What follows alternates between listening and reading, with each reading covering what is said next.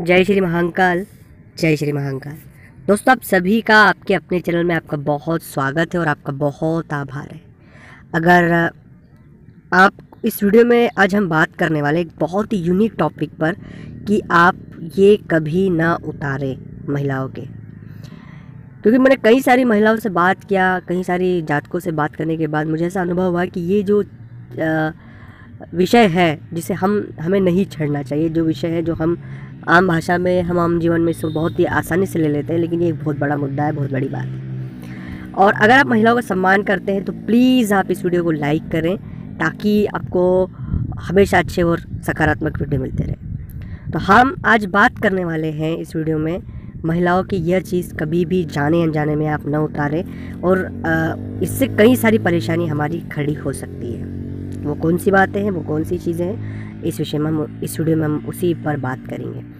पर उससे पहले आपसे एक छोटा सा मेरा निवेदन है कि चैनल को अभी तक आपने सब्सक्राइब नहीं किया है तो प्लीज़ आप सब्सक्राइब करें, चैनल से जुड़े, कमेंट्स में आप लिखें, ओम नमः शिवाय।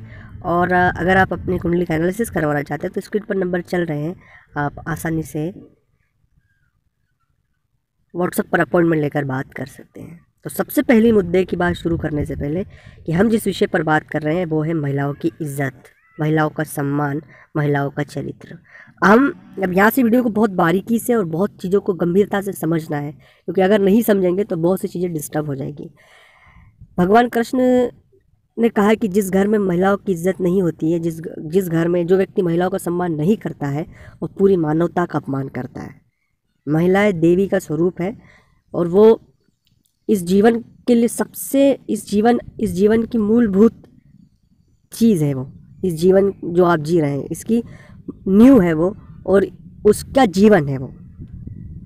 तो सबसे पहली बात है कि हम महिलाओं के चरित्र के बारे में, महिलाओं की इज़्ज़त के बारे में, बिना कुछ जाने सोचे किसी भी महिला के बारे में हम हमारे हिसाब से मनगढ़ंत चीज़ें बनाकर कुछ भी बातें कह देते हैं, किसी के लिए भी, या कोई भी धारणाएँ कर लेते हैं, वो गलत है। ये जो इज़्ज़त उतारने का जो एक पूरा एक सीनियर है, क्योंकि जो अकेली महिला होती है, जो अपने जीवन को सर्वाइव करती है, उसके लिए कई सारी परेशानियाँ और कई सारी चीज़ें उसे फेस करना पड़ती हैं। और ये इस युग में बहुत ज़्यादा देखा जा रहा है। कि लोग तरह तरह की बातें करते हैं, लोग तरह तरह का माइंड सेटअप बना लेते हैं और जो है ही नहीं, जो सच पर आधारित नहीं है। तो प्लीज़ दोस्तों, इस तरह की विचारधारा को, इस तरह के विचारों को आप खंडन करें, क्योंकि जब तक हम किसी भी चीज़ की सत्यता तक नहीं पहुँचते, किसी चीज़ की तथ्यता हमें नहीं पता है, हमें हमारा पॉइंट नहीं रखना चाहिए और हमें उस तरह पर बात नहीं करना चाहिए, खासकर चरित्र पर, उनकी इज़्ज़त के ऊपर। क्योंकि वो उनका सम्मान है, वही देवी है, वही शक्ति है।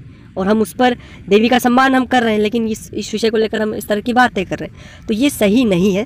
इससे हमारे नो के नो ग्रह जो है वो नेगेटिव वे में जाते हैं और हमेशा गलत ही परिणाम देंगे। कभी हमें सही परिणाम नहीं देंगे दोस्तों। तो प्लीज़ मेरा आपसे हाथ जोड़कर निवेदन है कि कोई भी व्यक्ति, इसमें महिलाएँ भी शामिल है। ऐसा नहीं कि मैं पुरुषों की बात करूँ, इसमें महिलाएँ भी शामिल है। ऐसे लोग, जो लोग इस तरह की बातें करते हैं, उनका बाइकआउट करें। और ऐसी किसी भी बात को सुनने से पहले आप दो मिनट रुक जाए कि ये बात हमें नहीं सुनना चाहिए और इस बात, इस तरह की बातों में हमारा ध्यान, हमारा समय बर्बाद नहीं करना चाहिए, क्योंकि एक जीवन का सवाल है, शक्ति का सवाल